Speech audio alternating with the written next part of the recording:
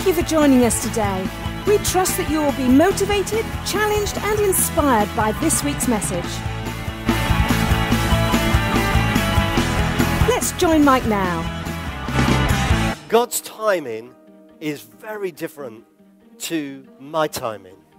He's never late, he's rarely early, but he's always on time. In fact, always right on time.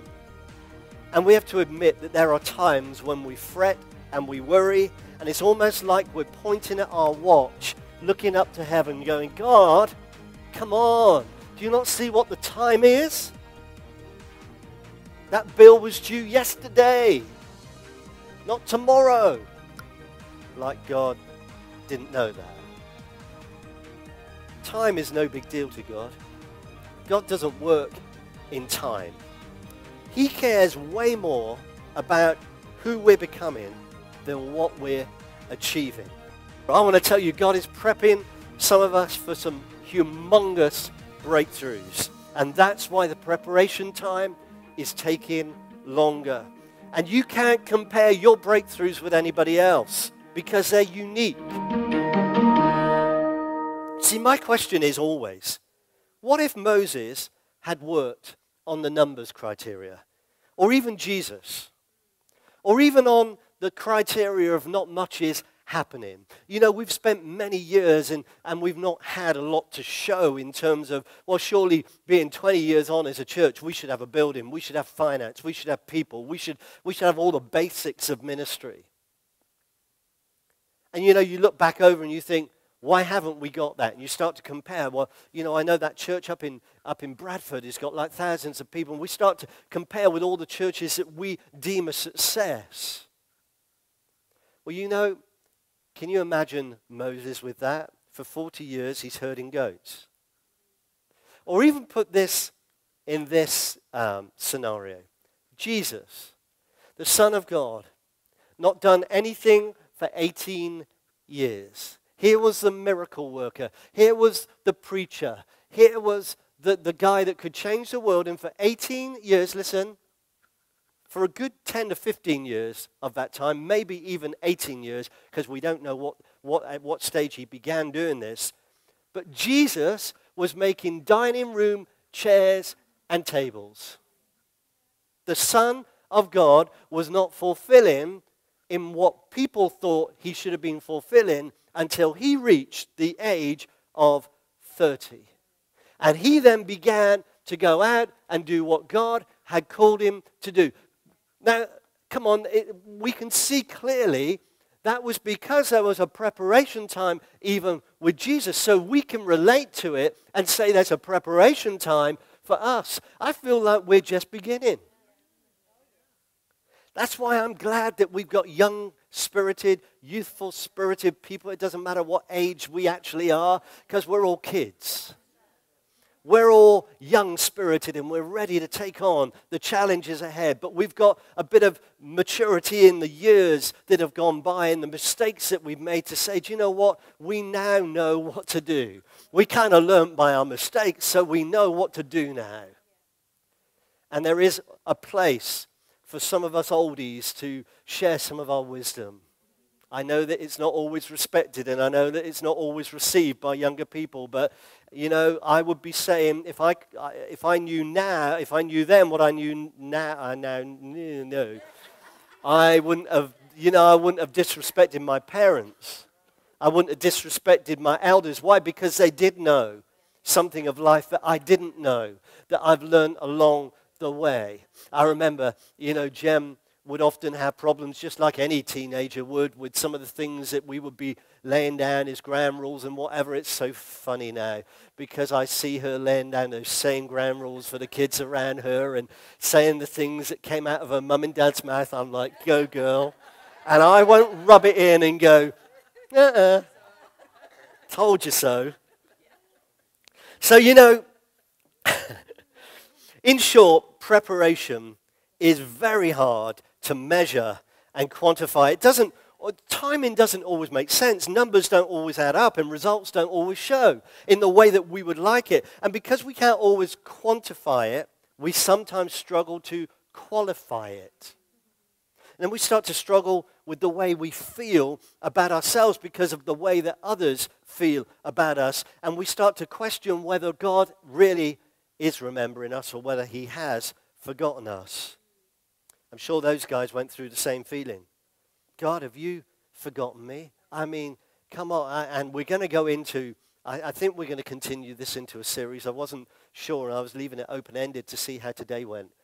But I think your response is kind of, you know, pushing me on to make it into a series. And I've got Joseph on my mind for a character that really had to learn to understand preparation in a multifaceted way and to understand God's will in things that just did not make sense. So I think we're going to visit Joseph along the way. But, you know, I'm sure all these guys in the Old Testament and the New Testament felt the same as we do. And they, they ought to have done because they were real people like we are. And Jesus was a real person like we are. And just like he had to go through preparation, even though he was the perfect Son of God, so we need to go through that preparation even more because we're not perfect.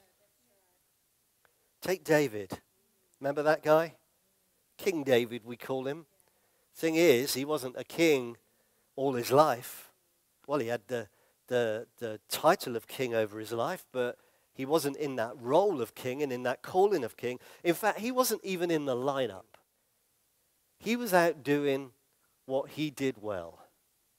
He was tending sheep, not something that many people knew about. In fact, few really knew about David.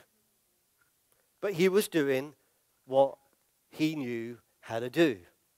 And one day, just in one moment, God comes along and puts him in the limelight. I mean, just like that. Do you realize that God doesn't need time to do something just like that? I believe some of you are going to experience things this year, and they're going to come in just one moment, and you're going to look back and go, wow, did that just happen to me? Like I have been waiting years and years and years and years for a breakthrough to the point where I'm hurting. It's wait, because I've been waiting for so long and the frustration has got so deep and the agony has got so painful and then God just does that and we go, God, why can you do that before? And God goes, because it's right on time.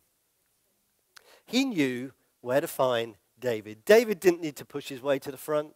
Some of the other guys are standing there, you know, they kind of had a wash and a shave and they're looking cutesy and looking like the next king, and, and none of them are the right person, even with all their great looks and all the stuff. There's a smelly little shepherd boy out in the field doing what he does good, and he's the one that God chose. In just one moment, God moved him from where he'd been positioned at for years to where he'd been purposed to be all his life. Do you realize there's a purpose over your life and God has a place for you to be in life and you're on a journey and one day you're going to be in that place and you're going to look back and you're going to go, wow, that was all preparation time for what I'm now going to experience. In just one moment, your life can change forever. How many of you believe him for that? Now it's interesting as I read this, even more interesting because God's just spoken to me through this right now. This is like a live sermon, like God's preaching it to me as well as you. So this is good when I get notes on the go. I just looked at this and went, wow, that, that means something different to what I studied this morning.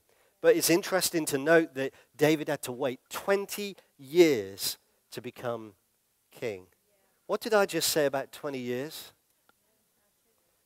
About this church being 20 years old. We've just gone past our 20th birthday. We're just starting, guys.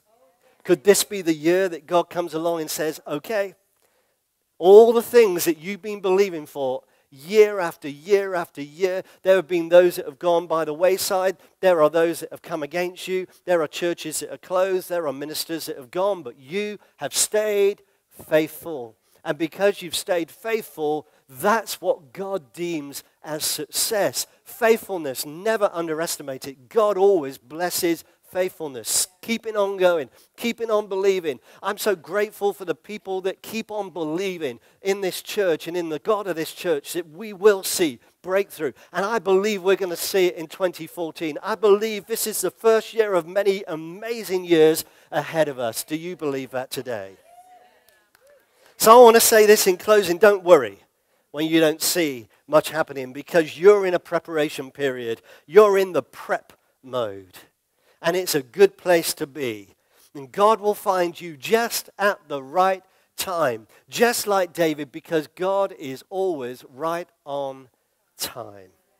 He's prepping you for greatness.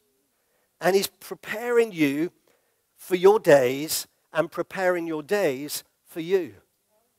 There's a preparation going on behind the scenes. And we don't like preparation. We don't like waiting, like Kari Jobe shared in that video.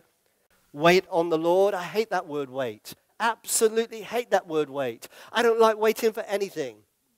You know, I don't like waiting in a, not that I've done it for a long, long time, but I don't want to wait in a queue for a bus. I, I, I, my heart goes out to people when I see them waiting in a bus shelter. I'm like, oh, I hate waiting anyway. I hate waiting in a queue to drop my luggage off at the airport. I hate waiting in a queue to pay for something. It's like, come on, it should be instant. Come on, it should be now. But waiting is good because it's in the waiting that God gives us the opportunities. God's preparing you.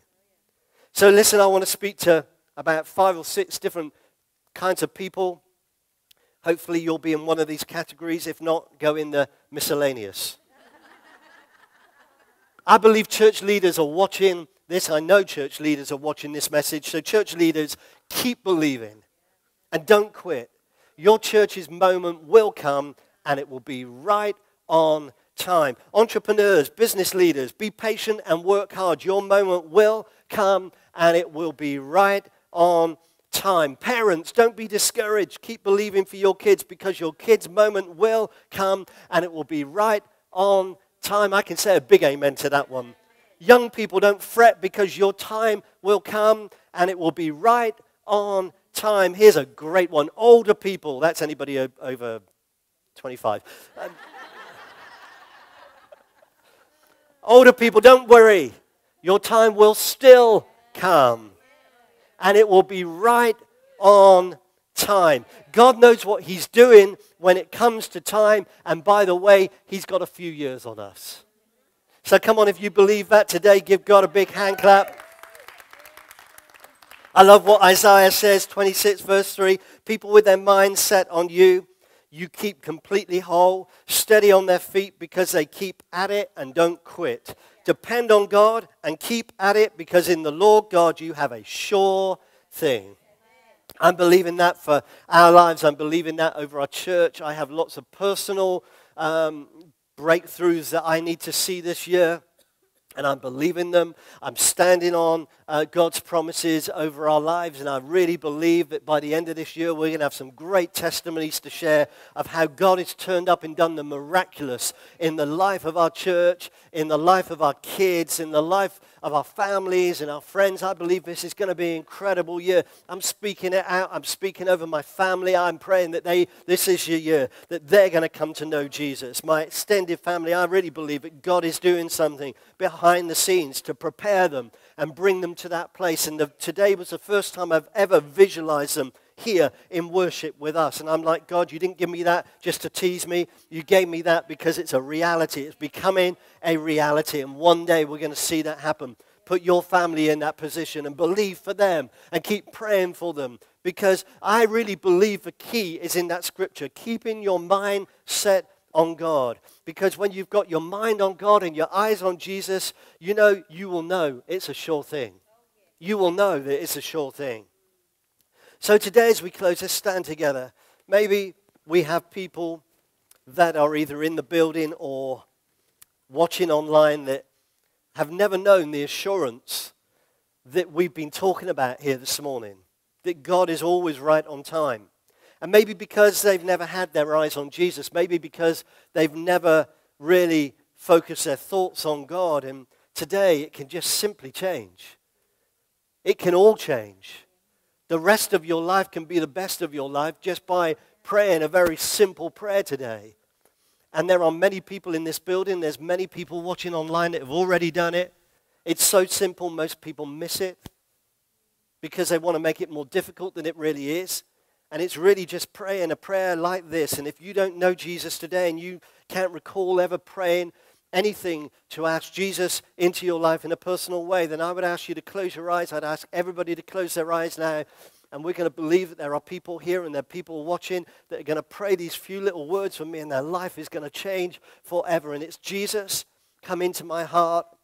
I want you to be my Savior and my Lord. And I know that you are, but I have to accept it in order for that to come to fruition in the way that you have uh, deemed for it to happen. And so today, I thank you for your love. I thank you for your grace. I thank you for your forgiveness. I thank you for the power that's in the inside, on the inside of me right now. Because I prayed to you, I am now being endued with power. I now have a power on the inside of me that wasn't there before, but it's now there. And now, with that power on the inside of me, I, like the Apostle Paul, can say, I can do all things through Christ who strengthens me. I can face some of the situations that I'm going to face knowing that you are on my side, that you are with me, that you are ahead of me, and you are behind me. And so, thank you for coming into my life today. Thank you that you were already there for me, and all I've had to do is accept that today in Jesus' name.